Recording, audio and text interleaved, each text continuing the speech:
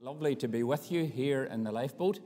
It's been a little while since I was with you, but I want to thank all of you. Many have been praying for us uh, during the COVID pandemic that came, and uh, many of you had suffered it, and I certainly was well swept off my feet with it. But I'm grateful to God that I'm well recovered and getting back into the work again and preaching a little and ministering to people. So I'm very grateful and thank you to all of those who have prayed for us. We really appreciate that. Prayer is a very powerful tool and it really does work and you should engage in it. And if you haven't an appetite for it, which is very common, unfortunately, among Christians, then you need to ask God, well, Lord, why do I not have an appetite? What's wrong with me? And if you start to ask the right questions, then God, if you give him time, he'll tell you. And he'll show you things in your life he doesn't like. And he'll uh, give you the ability to repent. And when you repent and you start to do what God wants to do, then you'll find God will become more real to you. And the more you do that in your life, the more real God will become until he, He's really a good friend to you. And uh, it's wonderful to know the Lord, and it's lovely to be here tonight uh, to share the Word of God. Now, uh, we want to turn in our Bibles, uh, please, to Psalm 8. Psalm 8. And, uh, or as a young convert said to me, I've been reading the Psalms uh, lately. So uh, it's not the Psalms, it's the Psalms. And we're going to do number 8. It's a very short psalm and it's very beautiful and really exalts and glorifies the Lord. So let's, let's read this together Psalm 8.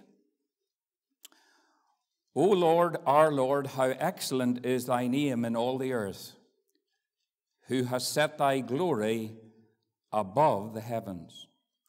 Out of the mouths of babes and sucklings thou hast ordained strength because of thine enemies, that thou mightest still the enemy and the avenger.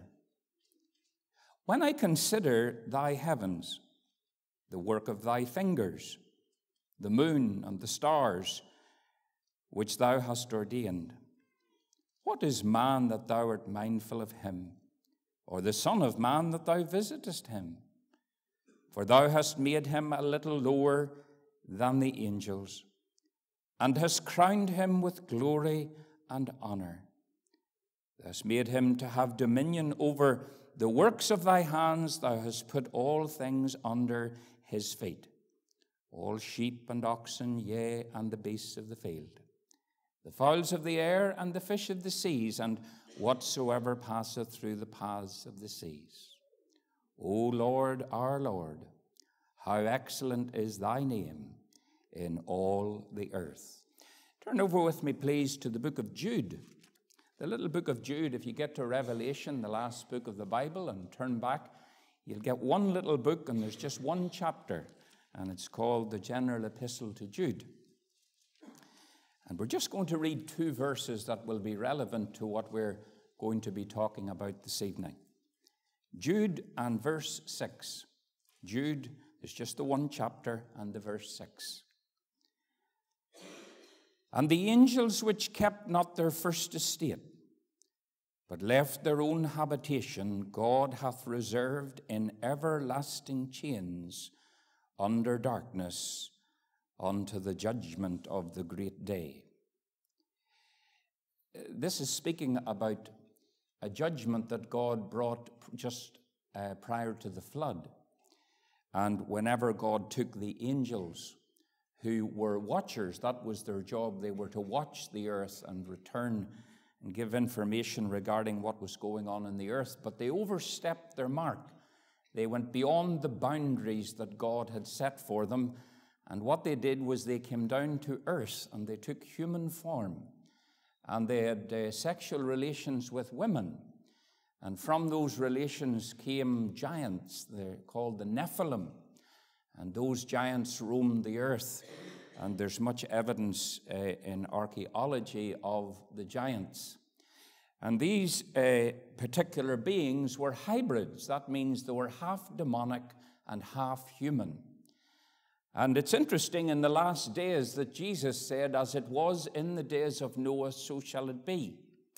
Now, I haven't time to go into it, but I have read it at great length and found it very fascinating that there is much going on in laboratories, and uh, both in the military and in the world of science, where many suspect that the hybrids are already being created, where demonic power is being drawn upon to give, as it were, they call super soldiers. Now, I'm not uh, saying that I go with every theory, but I find it interesting that the Bible says, as it was in the days of Noah, so shall it be. These were hybrids. And uh, immediately after they were born and they began to inhabit the earth, then violence, the world went mad. And God said, I can't put up with man anymore. And then the flood came. In like manner, we're told, uh, those of us who are familiar with the scripture, is that God will come again in judgment on the earth. And there are many things lining up uh, just at the very present moment we're speaking. I don't know if anybody's aware of uh, what was happening in Israel just over the last few days. That I think it was from Germany. They have brought in the red heifer. The red heifer was manufactured, as it were, in Germany and it was brought to Israel just a few days ago. And they had celebrations, and the Jewish uh, people, uh, many of them the um, religious Jews, as it were, uh, and Orthodox Jews, were all rejoicing and blowing the shofar because the sacrifice for the temple has come. And Jesus said that the temple will be built. He told us 2,000 years ago this event would occur, and the Jews are doing it. They have the temple ready for, for building once they get the site cleared for it. Momentous days that we're living in. Momentous. Homosexuality spreading over the whole earth. Jesus said, as it was in the days of Lot, so shall it be. Now let's see, let's see what the Bible has to say about that in verse 7, in uh, Jude verse 7 even as Sodom and Gomorrah and the cities about them in like manner, giving themselves over to fornication and going after strange flesh. You see the similarity where people go beyond what God intended. That's, that's the, what Jude's talking about. The angels went beyond what God intended, and they went, came to the women, and then terrible sin and judgment came. In like manner, homosexuality was the problem here. Men went beyond what God intended. It was beyond the order that God had established when He created men and women. I know this is not popular today, and if I was in certain countries, I would probably be lynched and go to jail, but it's the truth of God. It's the truth of God. And friends, the Bible says, buy the truth and sell it not. Don't let go of the truth because the truth sets people free. Even as they give themselves over to fornication and going after strange flesh, are set forth as an example, suffering the vengeance of eternal fire. Amen. And we know God will bless the public reading of His infallible and His inerrant word. Let's unite in prayer. Our Heavenly Father, we want to thank you for your precious and living word to guide us we thank you that the Lord Jesus is the living Word. He's the Word in flesh, and He has come. And we thank you, Lord, we can sing like the, like the hymn writer when he said, You ask me how I know He lives. He lives within my heart. And we thank you for the living Christ inside a redeemed heart. We pray tonight, Lord, for the help of the Holy Spirit. I ask that you will anoint, Lord, uh, this message.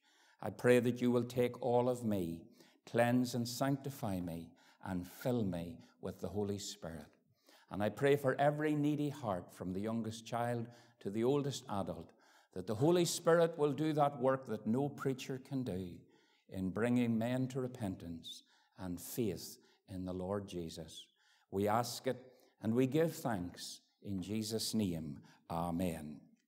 I want to jump in for the sake of time to the psalm which speaks of the majesty, the might, the power of God.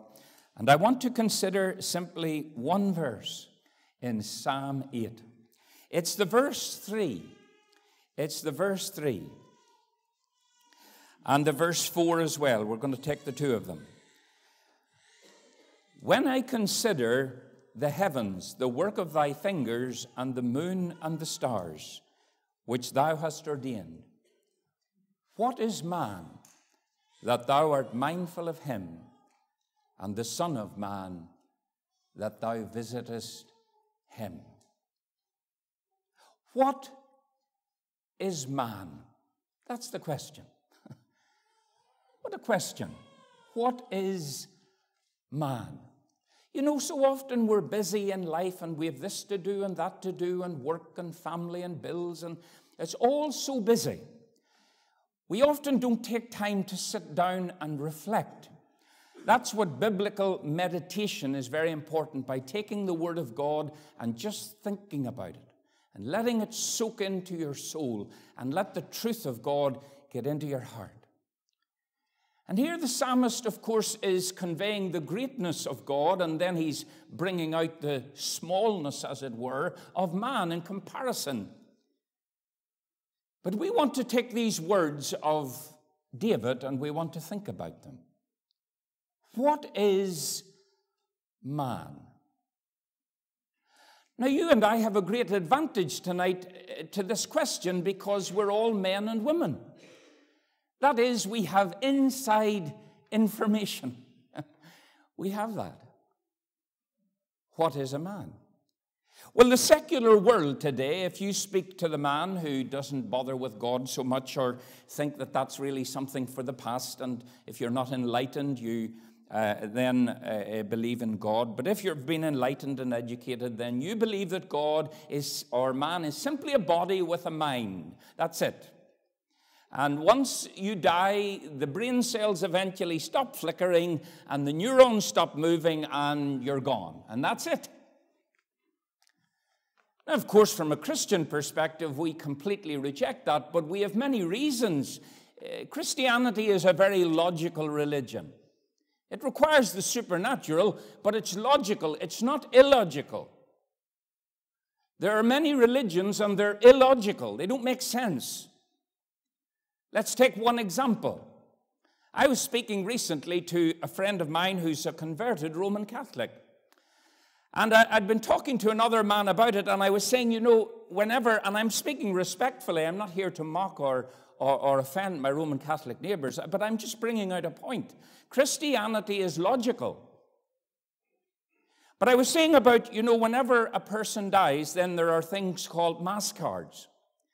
And those mass cards are, if the priest signs them, then you give in money. I don't know what his signature does to assist, but it, I think it's a little bit more expensive if you have the priest signature. And these are paid for, and the purpose of them is to assist the person who has died and has gone to a place which is non existent in the Bible. It's a place called purgatory where the flames of hell, as it were, are burning off the latter sins of the life to get the person into heaven. That's the general belief. So, the individuals, when that person dies, they will have masses for them. Uh, there will be a month's mass will be carried out in the local chapel for them in their name and then money will be offered this is all to help and assist in the salvation or deliverance of the soul I was asking my friend, what happens whenever a person has been overgiven? You give, say, a thousand pounds, but it only took 950 to get them out.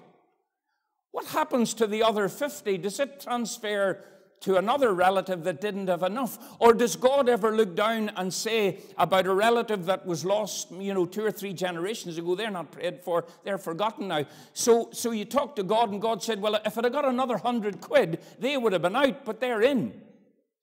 But then the other co- uh, contradiction is this that in most Roman Catholic churches, the priest will find himself saying, in the event of the death of the individual, out of just courtesy, he'll say that they're in heaven. That doesn't make sense. How come you can be in heaven and then you start praying for them and paying for them to get them out of purgatory? It's, it's not logical. It doesn't make sense, and it's happening every day. Christianity is not like that. It's not like that. You see, my dear friends, we have a body, a soul, and a spirit. We are tripart beings. We are made in the image of God, Father, Son, and Holy Spirit. We are a reflection of the divine. We are not divine. We are lesser than divine. We are shorter and lesser than the angels, the Bible says, simply because angels have the capacity to be in the presence of God, like Gabriel, who is ever in the presence of God. And then he came and he took a human form or some form that was, was uh, recognized by Mary, and he said to Mary, I am come to tell you about the birth of the Messiah. You're going to be have, have a son. And then he went back into the presence of God. Humans don't have that capacity. We're lower than the angels. But I've good news for you. That's going to turn around. Whenever we die or the Lord returns, we'll get a body like unto his glorious body. And I have no idea what we'll be able to do, but I can tell you we'll be doing a lot, an awful lot more and doing it better than what we do here now. Well, the body is an interesting and a very complex machine. We're told that the vessels in our body, blood vessels all through our body, if they were all joined together, they would go round the earth twice. That's complex. Every second in your body, there are two million red blood cells being made. Every second. It just happens even though you're not thinking about it. I lift my arm just now to scratch my head. Very simple action, we all do it and other things like it. That simple action, the scientists of the world, the greatest geniuses, have no idea how that happens. They have no idea how that I did that. Because of the complexity of the brain, the body, the muscles, so on and so forth. What is man? Man is very complex. He's very complex. We like to simplify things, but we don't live in a simple world. This world is not simple. The answers to life are not simple. And every one of us tonight could be saying inside, why did that happen? How did that happen? It's natural. We're in a complex world and we have certainly a complex body. In recent years, the scientists discovered DNA. DNA is essentially the book of life. There are three billion letters in this book. And those three billion letters are required to make you who you are. Atheists first believed that because man is made of cells, cells are so simple, so small, so finite, so tiny that, that's how, man, you know, they're just little nothings. Only to discover that they're so complex that scientists can't get to the bottom of them. Three billion letters.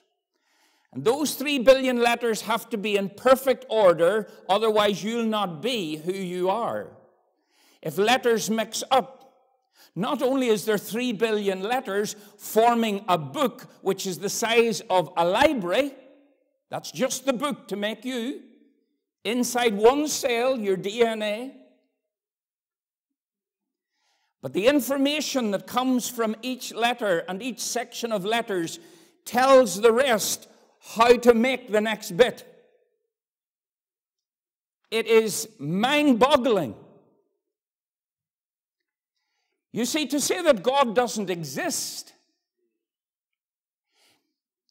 is to say that a book the size of a library that's all legible and all readable, all that book and books fell from the sky, nobody made them, and you go into the library and you get so much information that all makes sense, and you read it and you say, That all fell from the sky, by the way.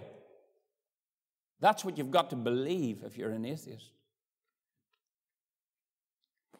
You see, my dear friends, in the answer to the question, What is man? Man is an entity, man is a unique being made in the image of God. And the image of God is reflected in what I'm going to take as three simple evidences of you and I made in His image. Number one, we are creative. We are all creative. Look at this world today. Look at the building we're in. Look at the house you live in. Look at the motor car you drove. We are creative. Now, where man can, what he cannot do is he cannot create something out of nothing. Man hasn't that ability. That's divine. God does that. But man can create from what is. Look at the bridges, look at the buildings, look at the computers, look at the clocks. My dear friends, you see it the creative power and genius of man. This is simply a reflection of the one who created him, the great mind behind the world, the great creator, God, the God of the Jews. We are creative. But here's another thing we all have a sense of justice. We all sense something of right and wrong. You find it in every culture, Christian or non Christian. Peoples that have never ever heard the gospel or heard of God, yet it is there. There is this thing that is aligned to us, but we can disobey it. It's not something that we just naturally obey like a law, but it's a law. It's like, it's like a measuring rod that's down over our life. And, and, and when we go to do something, somehow this rod seems to pull us to a certain way. And we know we ought to do the right. And even when we do the wrong, then we regret doing the wrong because we know inside we should have done the right. What is that right? Where does that right come from? The sense of justice. Whenever a pedophile is caught abusing a child, well, I was going to say automatically, but the way the world's going, my brother, my son was telling me about now they're having a particular new group to join the LGBTMNOP, whatever it is. And they're called MAPS minor attraction personality. It's the natural flow. Pedophilia will have to come in if a person says, I'm an adult, but I have the heart of a child. I need to be with a child. What's the laws of the country going to do? Well, you know where they've gone already. It's only a matter of time before pedophilia will be accepted. It's only a matter of time. Once you open the door to hell and the devil, my dear friends, it's hard to close. It's hard to close. Once the nation embraces darkness and switches off all the lights of God's commandments, it's hard for light to come again. But in our present company and in many normal people, there is the expectation if someone abuses a child, they should be taken and punished. And that's right. Why is it right? Because God has put it in us the law of justice, the law of righteousness, the law of truth and right and wrong. It comes from the divine, from no other source. What is man? Man is a creative being. Man is a being of justice. But he's also a spiritual being. He's a spiritual being. There is something inside the heart of man that can never be satisfied with everything that this world can give him. And for those of you, dear Christians, tonight who are still worldly, and are still taken up with the trinkets and toys of the world, and they're very much to the forefront of your life. I want to tell you that you're running after a mirage. I want to tell you that you're being duped and you're being robbed. We often have sung it and sung it here. Now, none but Christ can satisfy. And, dear friend, when you encounter the living God, the creator of the material world, you would expect, wouldn't you, that the one who made it, who is all glorious and all wonderful and all powerful and all knowing, if you had an interview with him and you were in his presence and his courts, it wouldn't be very long until you would say, I'm not worried with the trinkets of the world because I found the author. But perhaps you haven't met the author enough. Perhaps you haven't sought him enough. And so you walk in the lowlands. In the lowlands spiritually, when God would want you to be on the mountaintops, where you could see Him and hear Him and sense Him. That's where He would want you. And it is only by the grace of the Holy Spirit and by the love and grace of God the Father and God the Son that that is possible. But it is possible, my friend. We are spiritual beings, made in the image of the triune God, the God of Abram, Isaac, and Jacob, the God of the Jews. Jesus Christ, when he was on earth, he said to the Samaritans and others, he said, Salvation is of the Jews. And whether you're a Muslim or whatever religion you're from, Hinduism, salvation to the soul is from the Jews. The Ten Commandments, the laws of Moses, and then the words of Jesus the Messiah, the God man who came to earth and died for us on the cross to bear our sin. Oh, my friends, we are not merely material beings, but spiritual. And this, for many of us who are Christians tonight, we observed this in our own conversion, didn't we? We became aware at that time in our life, whenever the emptiness of the world, we saw through it to some degree. We recognized the limitations of it, that death was, was looming before us. At some stage, the reaper death would come and we'd be swept away. And God gave us enough light to recognize we were sinners and we repented and put our trust in the Lord. Oh, yes, we're spiritual beings. I recently had a young lady came to see me. She rang me, and her father actually rang, and then she rang and came to see me. And when she came, a very nice young girl in her early 20s, and she said to me, I was brought up in the church. But sadly, for many young people, the church is not real. It's all formality and there's no reality. And as a result, she said, You know, it wasn't too long till I got away from God again. And I did things I shouldn't have done, and so on and so forth. But she said, I had a great fascination about knowing about the future. And so on the internet, she said, I got in touch with some psychics. And she said, I paid them a lot of money. And they told me my future. And they told me the things that would happen in my life. And she said, then I felt I wanted a wee bit of power in my life. And she said, I got in touch with a witch in England. And she said she sent me over a lot of materials and I had to do these things with these materials. She said, I didn't do them all because I got a bit spooked out when I saw what she sent me. Paying for it, mind you, paying for it. Salvation's free. King of glory will come into your life. But there you are, deceived and dabbling with the devil. But she said, I didn't get what I asked for. She said, dark figures started to appear to, in the bedroom. And she said they weren't for going.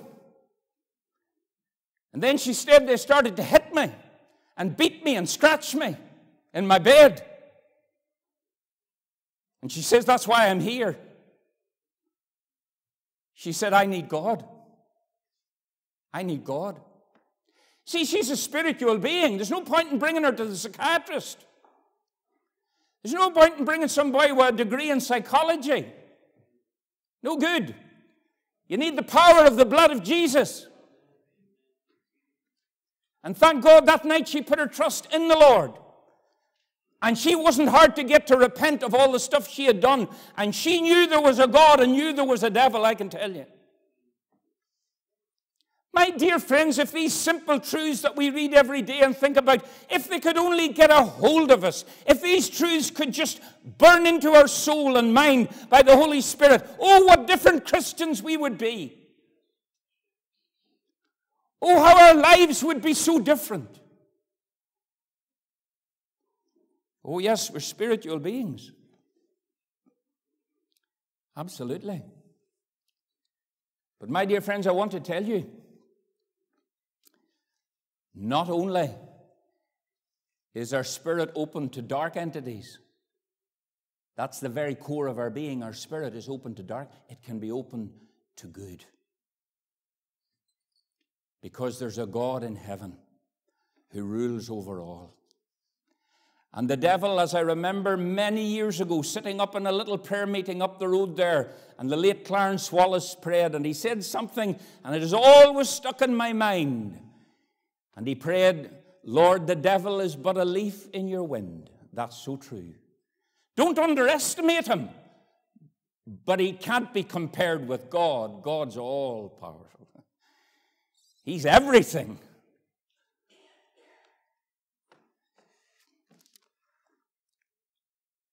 Let's move on very quickly. What is man that thou art mindful of him?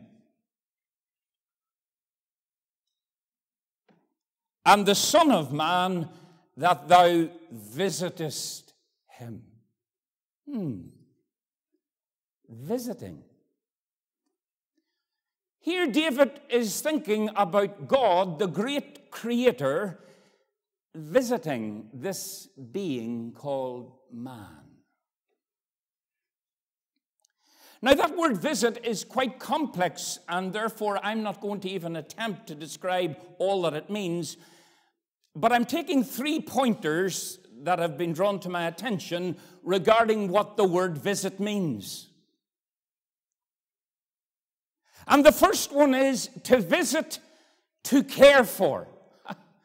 God visits to care for.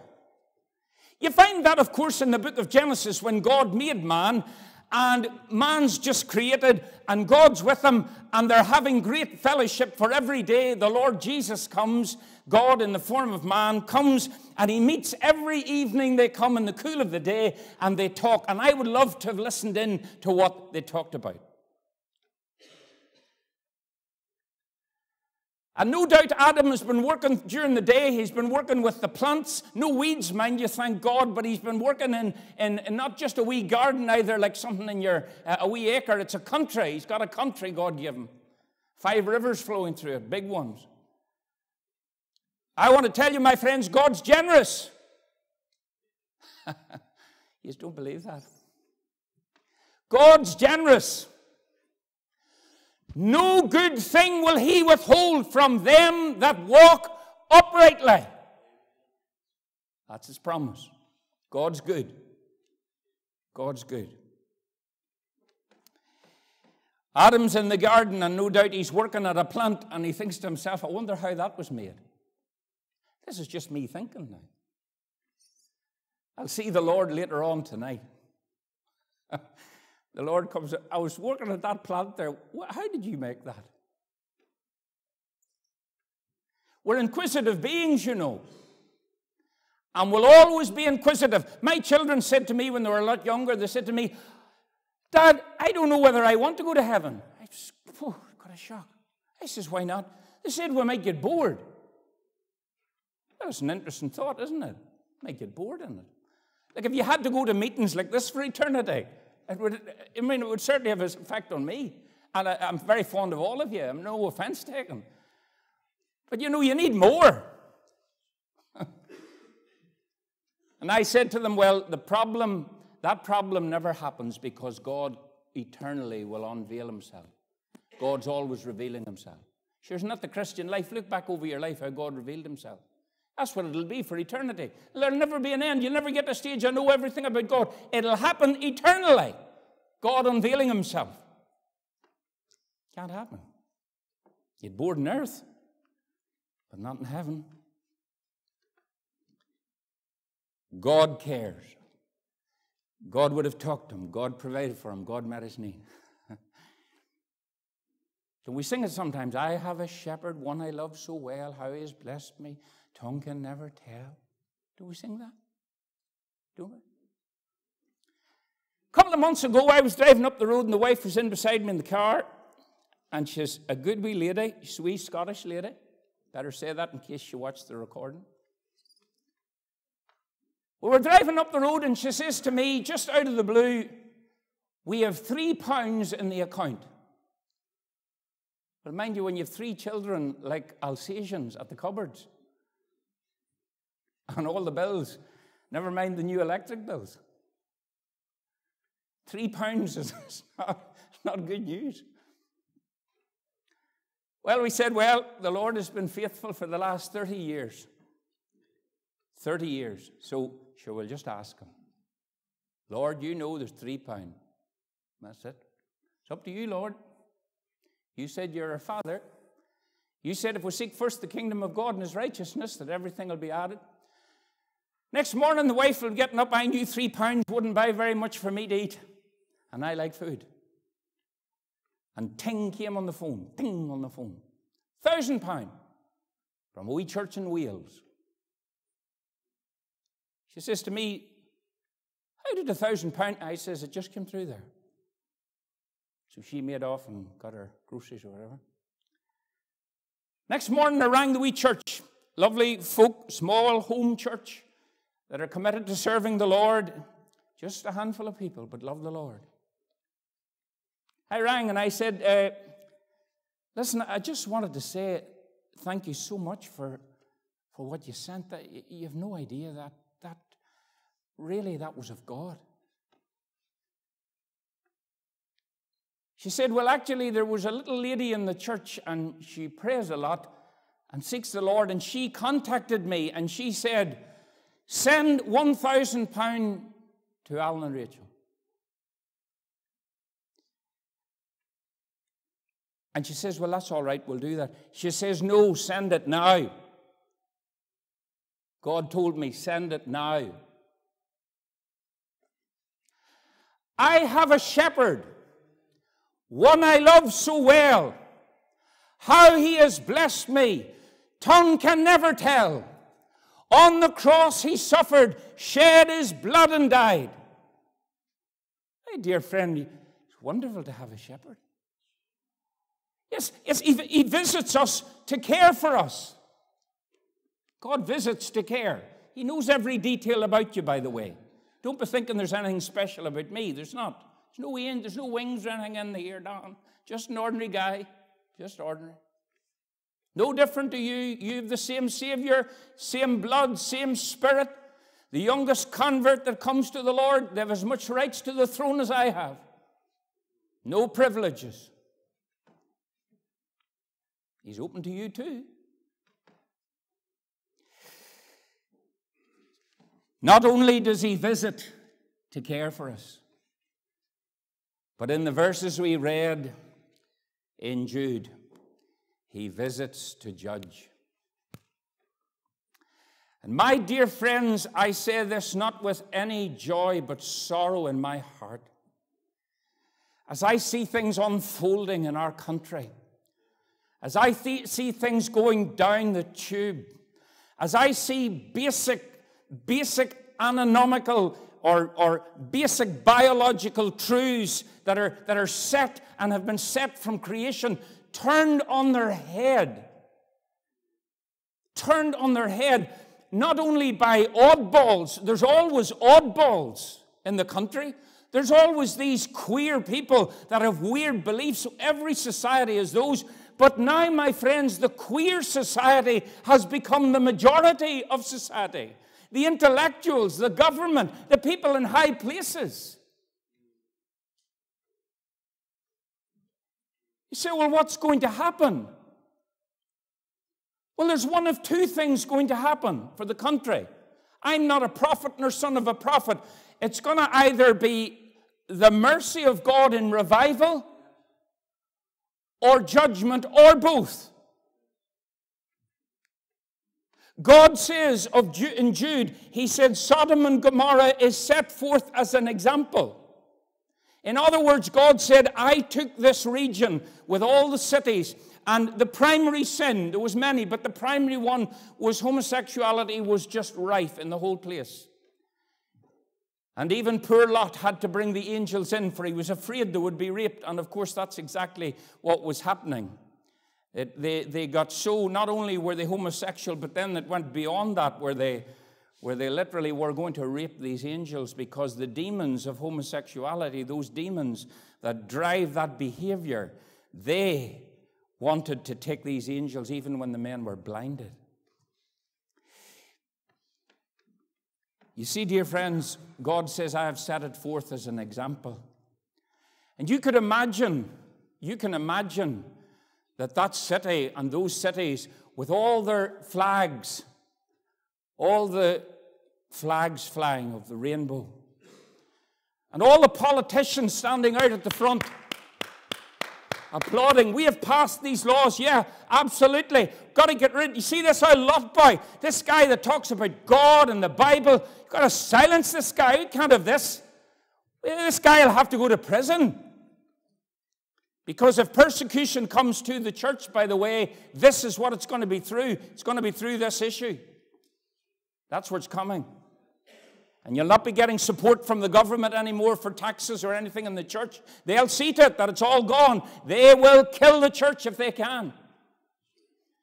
Because it's not people that we're dealing with, it's principalities and powers that want to suffocate the light of God and the truth of the gospel from the land. But the devil has a wonderful way of overstepping himself. Just when he feels he has the lid on it, God blows the lid off. Very often. And as all this celebrating was going on and the flags were waving and people probably walking the way they were walking down Belfast and Newry and Mid Ulster and the way they behaved and families bringing out their wee children to see men naked walking up and down the street, I wonder what's wrong with these parents? What's wrong with them? Who would bring a wee child out to see that? She have to be perverted yourself. You would save a child, any wee child, you would save them from seeing things like that. Even the very BBC have to do it until 8 o'clock. But that's where we are. And that's where they were, my friend, in downtown Sodom. And God said, I've had enough. It wasn't, it wasn't Lot that dealt with it, and it mightn't be the church is able to do anything about it. But my friends, make no mistake, God visits iniquity. God visited. And a fire came from heaven, the Bible says. And if you went to that region to this day, you will see the little balls of sulfur that are still there where nothing grows. And it's one of the few locations on the face of the earth where there are sulfur balls that indicate fire came in the form of sulfur balls onto that region. God said, I set it forth as an example. I have warned humanity. I have warned humanity. Judgment will come. My dear friend, the thing that you need to fear more than anything else is God and sin. And if you don't fear either of those, you're in trouble. You're in trouble, and you're on a collision course with the one who has never lifted a flag.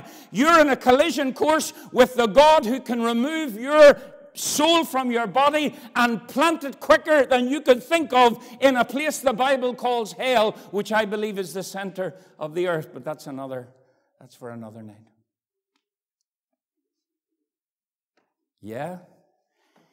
You see, we all believe sin has to be punished, don't we? Down deep, we know wrong should be, but we don't believe it should happen to us. Uh, but that's, that's, you see, you're the wrong measuring stick. You're measuring yourself with your own stick. Measure yourself by God's stick. And you'll find things are not good. Because when you break the law of God, you're guilty. And when you're guilty, then you're under sentence. When you're under sentence, then you're going to go to God's courtroom. When you go to God's courtroom and the evidence is pulled out of the sin that you've committed, then God says there's only one thing, and that is guilty. That's why you need a Savior. You see, my dear friends, in closing, not only does God come as to care for us, not only does He come to punish, but He comes to bestow grace. That's part of His visiting. It is to bestow grace. You know, the Bible says in 2 Corinthians chapter 8, For you know the grace of our Lord Jesus Christ, that though he was rich, yet for our sakes he became poor. The grace. Do you know what grace is? Grace is me getting from God what I don't deserve. There's many religious people in our country tonight, Protestant and Roman Catholic, and they know that they don't deserve salvation, but what they're doing is they're praying and paying for it. They're working for it. They're doing good deeds. They're going about it all the wrong way. You see, it's grace. It's grace. By grace, you're saved. It's the mercy of God. It's God simply saying, You don't deserve anything, but I am giving it. It's nothing to do with you. It's all God.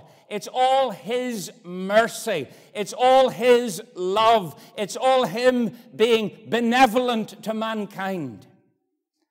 For God so loved the world that He gave His only begotten Son, that whosoever believeth in Him should not perish, but have everlasting life. My dear friends, as we draw to a close, you are a sinner in the sight of God, as am I. You've committed sin, you've broke the law of God, and therefore you're guilty. And what you're doing tonight, if you're not a Christian, if you have never put your trust and faith in Jesus Christ, then tonight you are walking about with a stick of dynamite and the little fuse is in it, and you're enjoying life just like the fuse. And all the little sparkle and tinsel out of all you're doing and all your little things you want to do in life, that's the little tinsel that you're, but the tinsel's going down, it's going down, and you're trying uh, immorality and you're having fornicating with people and there's pornography and there's all types of things and, and you're being deceitful and lying and untruthful and, and you don't treat people right and you don't treat your parents right and, and there's a thousand things that you know, and, but you're just going on and you're living your life in the little fuse is just burning up, burning up, burning. But you know what happens, my friend, when you hold on to that fuse that seems to excite and the tinsel of it really excites you in your life? That one moment, my friends, once that hits the stick, then your soul and your spirit and your body are blown apart. It's what the Bible calls death. The wages of sin is death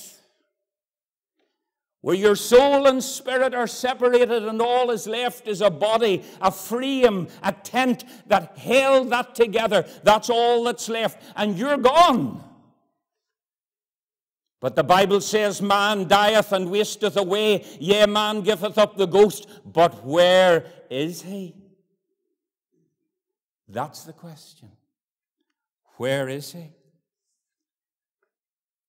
My dear friends, it was God's intention and his plan before ever you were born, or before ever your grandparents, or going back even to Adam before that, God knew about you. I believe that. God says that. That shows how important you are. God knew about you before the foundation of the world. And God says, I love you so much that I'm going to do something for you. And in the councils of eternity, God the Father and God the Son and God the Holy Spirit communed. And a great plan was brought forth that God would send his wonderful, beloved Son And he would restrict and lay aside all his glory, majesty, and power. He would lay it all aside and voluntarily go into the womb of a virgin, and there he would be contracted to a span and become a little infant thing that would cry. And the hymn writer said, Lo, within the manger lies he who made the starry skies. And he would live a sinless life, but at the age of 33, he would be taken, and there he would voluntarily be nailed to an old cross, naked, beaten, and bludgeoned, and spat upon, and his brow uh, broken. And there he would lie, and then they would lift up that old cross and the one who clothed the earth with water, with land, with grass, he, the Creator, would hang naked. Why? Why did he do this? My friend, it was for you. It was for you he did it. It was for you he did it. And you, he did it for you. He died the just for the unjust to bring us to God.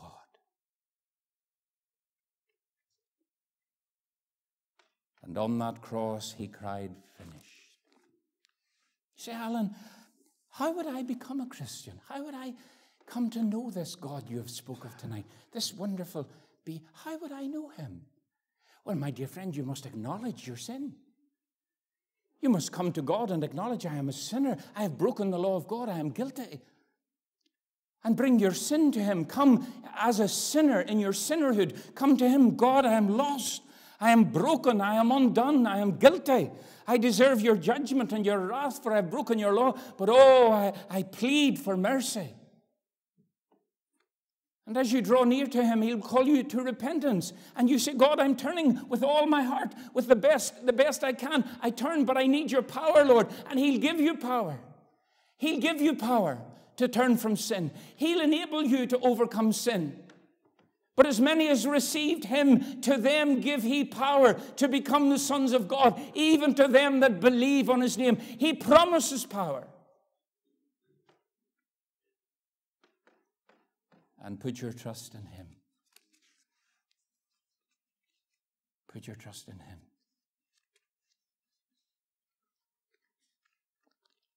Forty years ago, I remember going to a tent.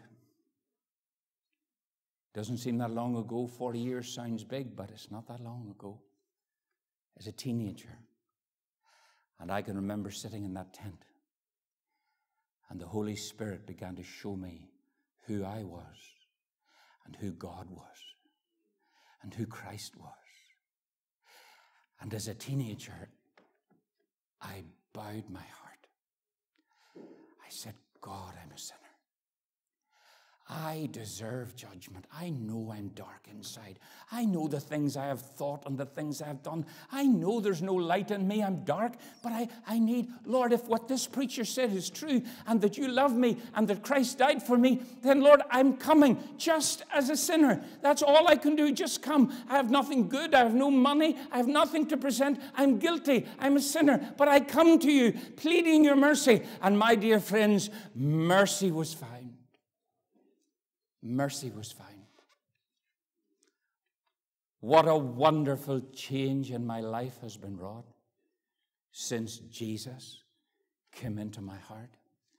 I have peace in my soul, for which long I had sought, since Jesus came into my heart. Oh, friend, let him in. Let him in. Why would you keep him out? I have tried to present him tonight. I have attempted in a very feeble manner to tell you a little of how he, how he works and what he does and how good he is. How feeble I've been. But oh, I trust the Holy Spirit will make what I have said so much clearer and that he'll magnify it in your mind and heart And that even if you leave this place without Christ, I pray that the Holy Spirit will follow you. I pray that if you put your head on your pillow tonight, that the Holy Spirit will continue to speak to you. And He will tell you that you need to come to Him. Oh, do it, my friend. Do it, my friend. What is man? That thou art mindful of him, or the Son of Man, that thou visitest him. Let's bow in prayer.